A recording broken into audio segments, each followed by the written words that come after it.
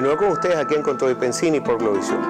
Esta entrevista que vamos a tener ahora es muy especial porque eh, me, lo dijo el, gerente general de aquí, que hace toda la programación, Ulises, me dice, mira, te tienes que invitar a este señor que estuvo con Mujeres con Todo, yo estuve con él, y todo el mundo termina llorando. Yo acabo de ver una experiencia ahorita, nuestro último invitado, en los dos minutos que habló con él, y bueno, sus ojos terminaron en, lágrimas, imposible no hacerlo, porque te mueve las cosas. Este señor es un medium, él se llama Bhagavan Vázquez, es venezolano, eh, debería ser hindú, pero decidieron que fuera venezolano sus padres, y ya nos va a contar la historia. Pero es algo que a mí personalmente me ha impresionado y a mucha gente.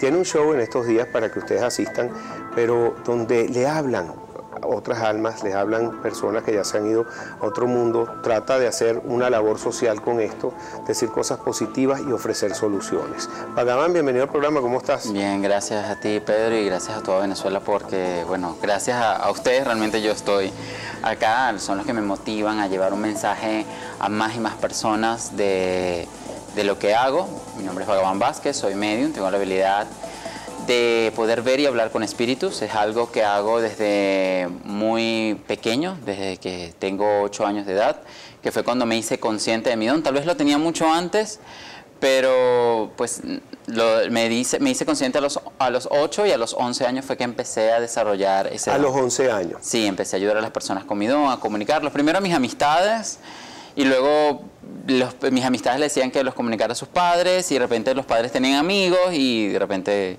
tenía ya 400 personas delante de mí y tenía que eh, tratar de transmitir la, la, cantidad más grande de, espíritus. Ibas a nacer en la India y tus padres decidieron que nacieras en Venezuela. Sí, por este, una carta astral. Por una carta astral que me hicieron. Ellos eh, se dan cuenta de que yo iba a nacer entre la vida y la muerte o que me iba a mover en la carta astral eh, para que sepan, mi, eh, mi, sol está en la casa 8, que es la casa de la muerte.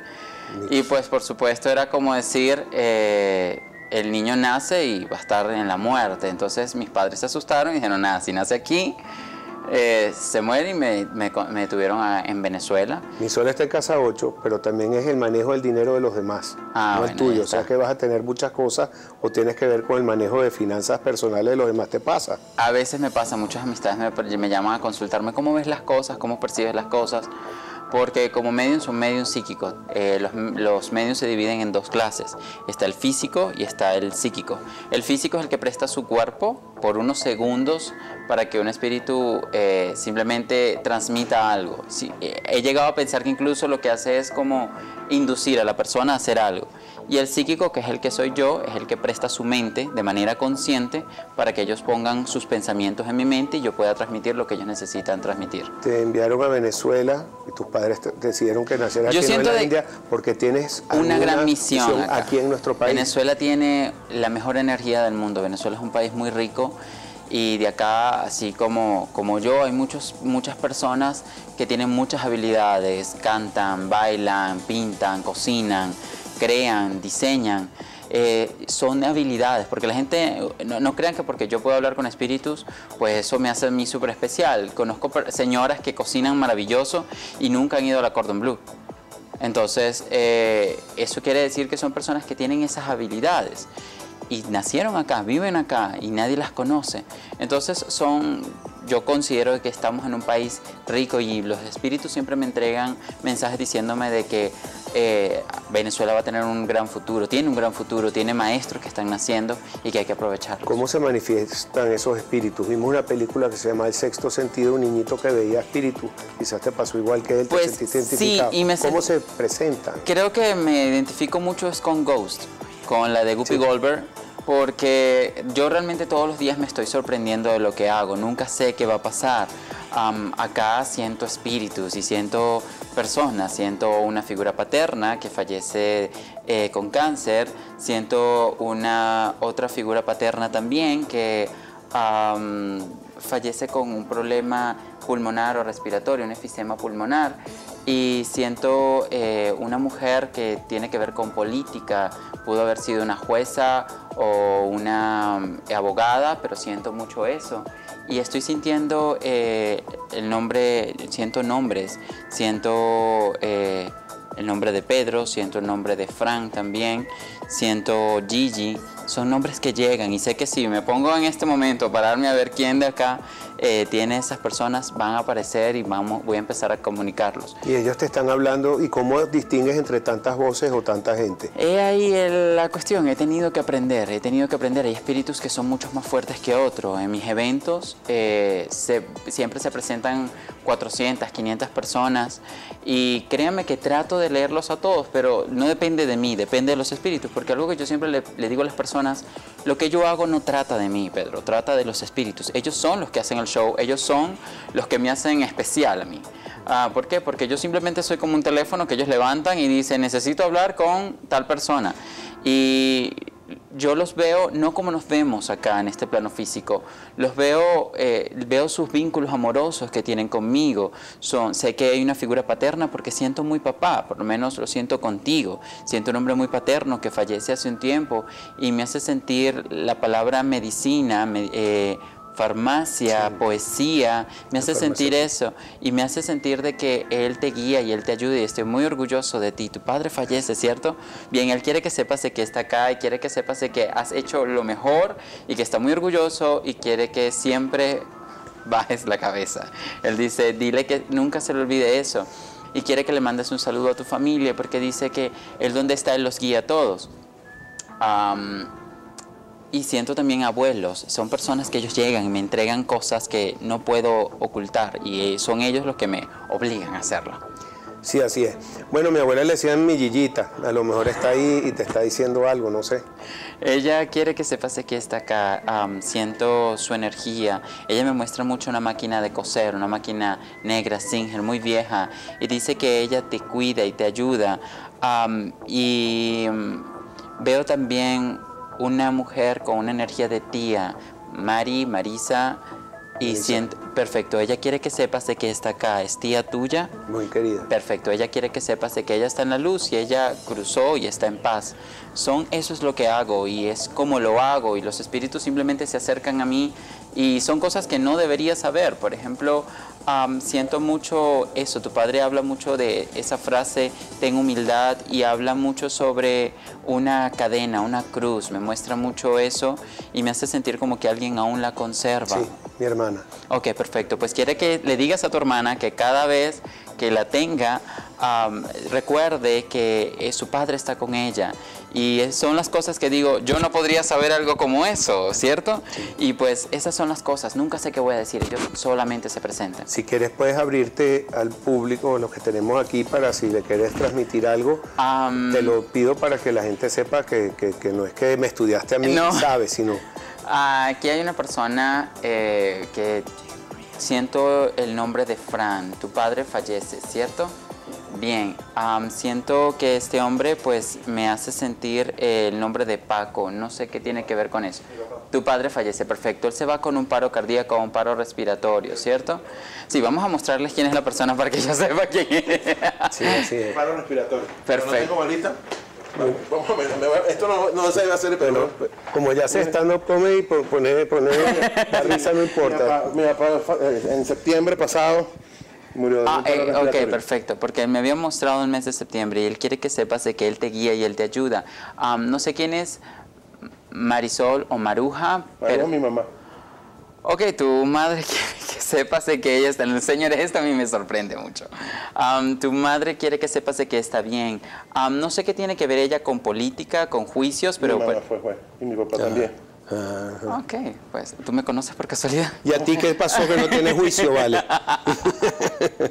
pues tu padre y tu madre quiere que sepan de que están muy orgullosos y ellos te guían y te ayudan, ¿ok? Ellos hablan de ah, una persona que los guía y los acompaña, ¿ok? Mm. y dice que están tus abuelos también que fallecieron hace un tiempo atrás.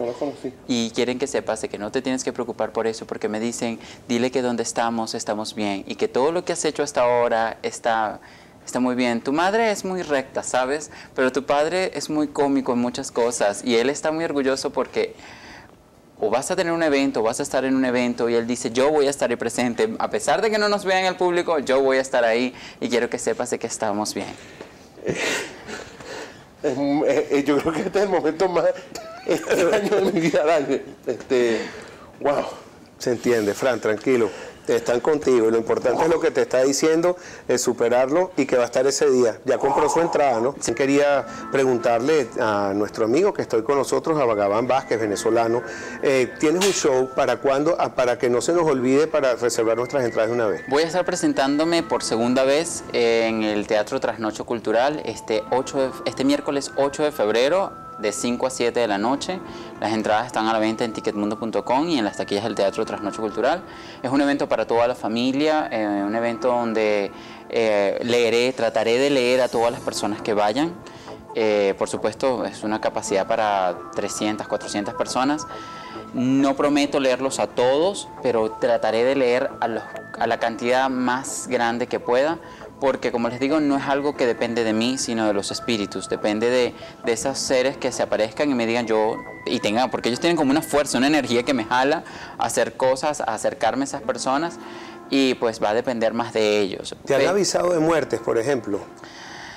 Sí me han avisado, pero yo siempre le pido a los espíritus, tengo una norma para ellos, siempre les pido que solamente se presenten quienes tienen que sanar algo con nosotros o nosotros con ellos, no quien nosotros queramos. De esa manera no los obligamos, dejamos que ellos se expresen libremente porque hay espíritus que no tienen nada que decir o no tienen eh, algo, algo positivo ¿Y la que transmitir. experiencia con tu abuela? Pero eh, también les pido a los espíritus que solamente me entreguen mensajes de sanación. Cuando un espíritu se presenta a- para decirme, mira, me estoy yendo, o, o- o me avisan de que por lo menos con mi abuela materna, la mamá de mi mamá, eh, la última vez que yo la vi en vida, cuando me estaba yendo me dijeron, mi abuelo que falleció y mi tía abuela que falleció, se me presentaron y me dijeron, nosotros estamos por llevárnosla y esta va a ser la última vez que la veas.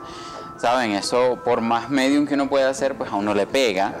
Y, Y cuando la viste en el plano físico después y la vi en el plano, en, en el plano espiritual, que ella se, me, ella se me presentó en un evento, por cierto. Estaba yo en Maracaibo y me dijo, llama a la familia que me estoy yendo. Y mi difícil. abuela paterna también fue lo mismo, se me presentó y fue algo que yo dije, ok, no, no esperaba que ella apareciera, porque como les digo, yo trato de tener una vida normal, trato de llevar una vida normal y no es sencillo pues que este tipo de cosas ocurran, pero estoy aprendiendo también. Tú aprendes todos los días. Sí, porque realmente el conocimiento de mediums en Venezuela no hay.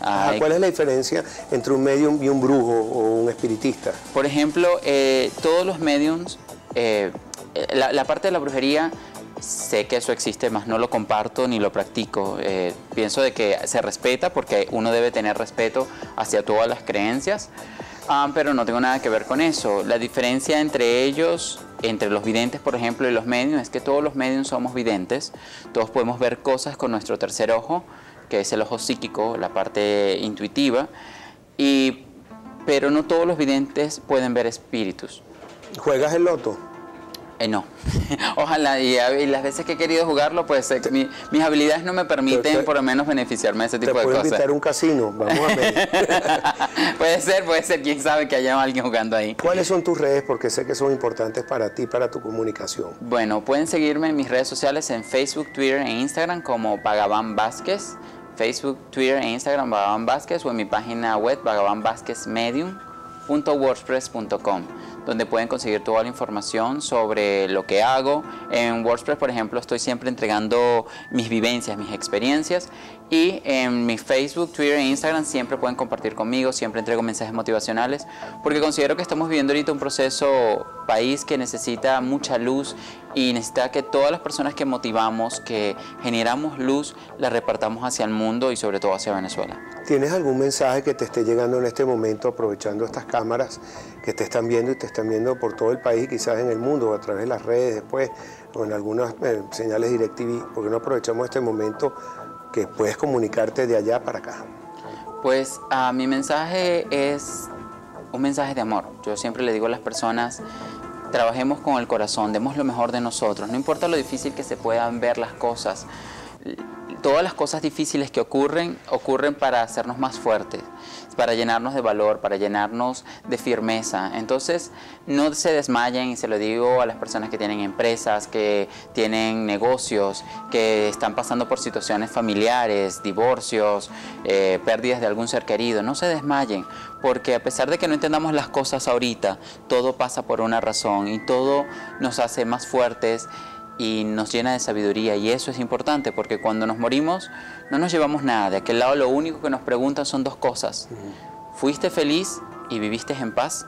Son las únicas dos cosas que te van a preguntar. No te van a preguntar a cuánta gente ayudaste o cuánto dinero hiciste o a cuántas personas heriste. Te van a preguntar, ¿fuiste feliz y realmente viviste en paz? Y es algo que yo le digo a las personas, pregúntenselo todas las noches cuando se acuesten a dormir, pregúntense qué fue lo más feliz que hice por mí hoy y qué fue lo más pacífico que hice por mí hoy. Si nos podemos responder eso, tuvimos un gran día. En este momento, para nuestros colegas aquí que trabajan de Globovisión, ¿sientes algún, algún mensaje en especial para nuestros camarógrafos? También la señora que nos está aquí acompañando. Pues siento a un hombre joven que falleció de manera muy rápida y muy inesperada, muy trágica y muy inesperada siento de que se fue joven y me hace sentir de que su muerte pudo o fue un asesinato o fue realmente un accidente que lo malogró mucho, mucho. ¿Quién? Ahí lo siento es de este lado. A ti. Ok. Pasa para acá, por favor, para que te vean. Eh, ¿Quién? ¿Un familiar? Ah, ok, tu hijo se va rápido e inesperado, ¿cierto? Pues, ok. pues siento de que él está bien, quiere que sepas de que está en la luz. Él se mueve mucho por el estudio y quiere que sepas de que él está bien y está en la luz. Siento de que él donde está está en paz y siempre lo va a estar guiando y siempre te va a estar ayudando. Dice que aún conservas una foto de él donde él se ve alegre, se ve muy joven y él quiere que no sé si es que lo llevas en la cartera o en el teléfono, pero me muestra mucho eso y me dice, dile que a mi papá que estoy bien, que no se sienta culpable por mi muerte, porque donde estoy estoy en paz. Ah, no sé quién es la mujer mayor que fallece, no sé si es tu madre la que fallece. Bien, pues ella está acá también y ella abraza a tu hijo y dice, dile que yo me encargo de él, que no se preocupe por eso. Tu hijo se parece mucho a ti cuando tenía su edad, ¿ok? Y tu madre quiere que sepas de que él siempre te va a guiar y siempre te va a ayudar, ¿ok? Eso es lo que siento. Y siento a una persona de este lado, a un hombre joven que fallece. ¿Quién pierde ahí? ¿A un primo o a un gran amigo? Él. Hay dos. Este, lo siento es de este lado. Entonces... Pues siento de que él está bien y él está en la luz y siento de que está en paz, ¿ok? Quiere que sepas de que donde está te está guiando. Siento también a otro hombre joven que también fallece, pero pareciera que hubiese pasado de los 19 años, pareciera que fuera mucho más, mucho más adulto también, ¿ok? Él quiere que te haga saber a ti, que tiene esta cámara grande, quiere que sepas de que No, no se puede soltar la No, cámara no puede porque- soltar, señor, porque si no se cae, se cae todo acá. Pero quiero que sepan de que ellos están en la luz. Tus guías espirituales siempre te, te ayudan y estos seres de luz siempre te acompañan, ¿ok? Muy Eso es lo que hago. Increíble. Y que no te cargas de tantas cosas, emotividad, porque uno, yo mismo aquí oyendo todo, eh, uno se pone emotivo y, y de alguna manera uno tiene que liberar esa energía. Pues sí me cargo, no te voy a mentir, pero he aprendido a meditar, eh, escucha, yo trato de relajarme, vivir siempre tranquilo. Mi hobby es escuchar mucha música, soy melómano de nacimiento, me encanta la música. Mi papá es, es fundador, es uno de los fundadores del sistema de orquestas. Este, mi mamá es eh, licenciada en artes escénicas. Siempre tuvieron que ver con el arte y siempre me metieron hacia el arte. Entonces, ellos, eh, me, me quedó eso de ellos y a través de la música me relajo mucho. Eh, además que bueno, trato de también ponerle a ellos un horario, a pesar de que es algo imposible, pero trato de decirles eh, en qué momento sí, en qué momento no, porque como les digo, tengo 25 años, señores, trato de tener una vida normal, tengo derecho a salir y por más que espíritus que hayan, en momentos donde yo les digo a ellos, si no tienes algo muy, muy importante que decir, pues realmente espera. ¿Qué te dicen de tu futuro cercano y más a largo plazo? ¿Te ves en Venezuela? ¿Te ves en grandes shows en el mundo? Porque esta habilidad que tú tienes es algo muy especial, es un don muy especial. Pues realmente no puedo ver mis propias cosas, pero sé que yo siempre, yo creo mucho en Dios y en el Espíritu Santo y siempre le digo a Dios y al Espíritu Santo, ustedes me guían y me llevan a donde yo deba ayudar. Entonces, si mi misión está en ayudar a las personas eh, fuera del mundo, como ya lo he hecho porque tengo pacientes en todas partes del mundo, am, pero debo presentarme, hacer shows en otros espacios, pues también eh, estoy abierto a eso.